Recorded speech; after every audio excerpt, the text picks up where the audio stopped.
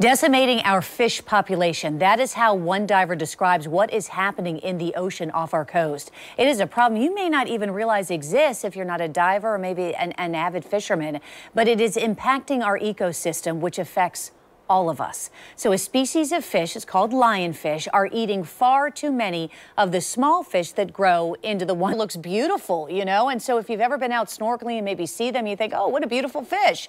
Well, it is just, as, as I, Renee Legero helped organize the Northeast Florida Lionfish Roundup and is joining us this morning to explain more about the competition. Good morning. Thank you for being here. I appreciate it. for having me. You know, if I could, um, in case our viewers were not uh, watching at 740 um, when um, I aired the interview with you and Matt, would you explain why lionfish are such a threat to our ecosystem? Um, multiple reasons. First, they're not um, a native to our oceans. They come from the Pacific side, and now they have infiltrated through the Gulf of Mexico, the Caribbean, and now the Atlantic coast. And they're making their way up, and they're mass produced, laying thousands of eggs that have a venomous, or not a venomous, but a toxin on their eggs, so not even other fish will eat their eggs.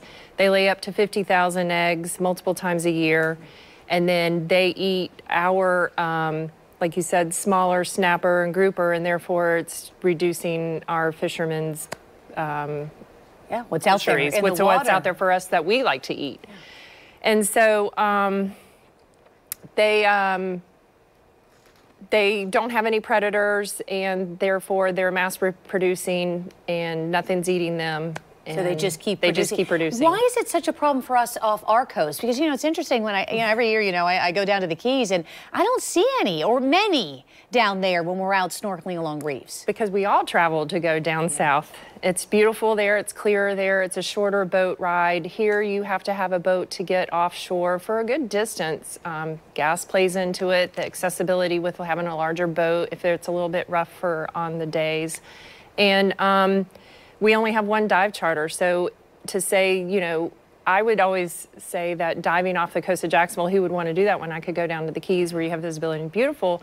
But if you actually go off the coast of Jacksonville here, it is very beautiful, but it is harder to get to and there's less accessibility. And so the people who are able to go out more often, the water is clear down in the Keys and in South Florida, you know, divers know to get rid of these lionfish because Correct. they are indigenous and, and causing so much damage Correct. to the fish population as opposed to off our coast because it's just hard to get out there. It's hard to get out there. And to dive for them. Now, you, you actually dove over the weekend, and, and could you explain what you're seeing and how many you caught because there's such a problem? Um, it was hard to get out on this past Sunday because the weather with the um, waves were a little harder. So if you do have a smaller boat, like I said, the accessibility to get out there is a little harder. Um, we have a nice um, boat to get out on, and when we went out, we were only able to get two dives in, and there was two of us shooting lionfish, and with two dives and two divers, we were able to get 58 lionfish.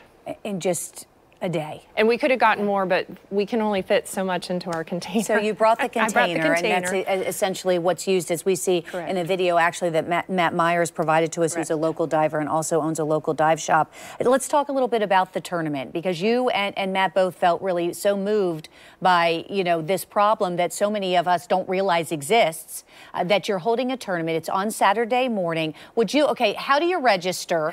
Um, does it cost any money? To explain, if you will, the prize as well? Um, you can register as late as um, Friday evening. Um, it's uh, northeastfloridalionfish.com as a registration site. If you don't want to go on the computer, you can come to our captain's meeting, which is happening at the community center in Mayport, which is on 4870 Ocean Street.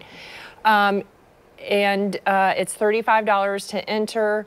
And with um, having this event, FWC is a huge sponsor in this, trying to promote education and to relieve some of the um, pressure of the lionfish off of our coast. And so we have cash prizes, we have prizes that have been donated through Matt's um, dive shop and through the FWC and some of our local divers. Um, so cash prizes, the most caught.